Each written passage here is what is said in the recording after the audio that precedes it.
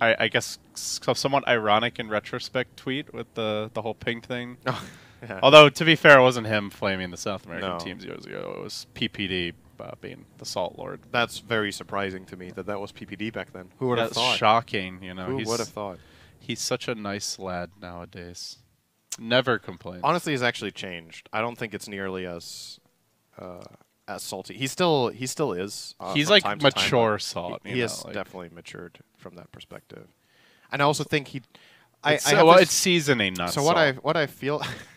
What I feel like back then was that he was just genuinely being salty, and now I think he's being more strategically salty. He's like he knows it generates drama, and that's like good for the engagement of the fans and for the game. It's like he's been talking about this that it's it's better that people are engaged and care about stuff, even if they care about it because someone is being the uh, the villain.